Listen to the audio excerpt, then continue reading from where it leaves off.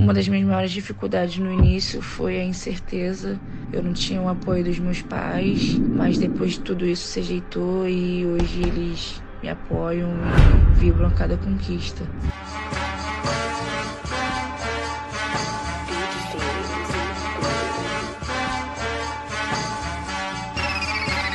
Soldier Boy Dre.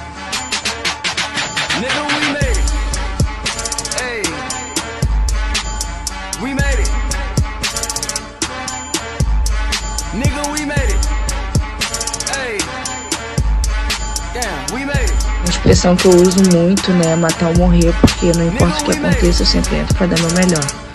E eu acredito estar tá bem para deixar tudo de mim e representar todos que acreditam e me apoiam.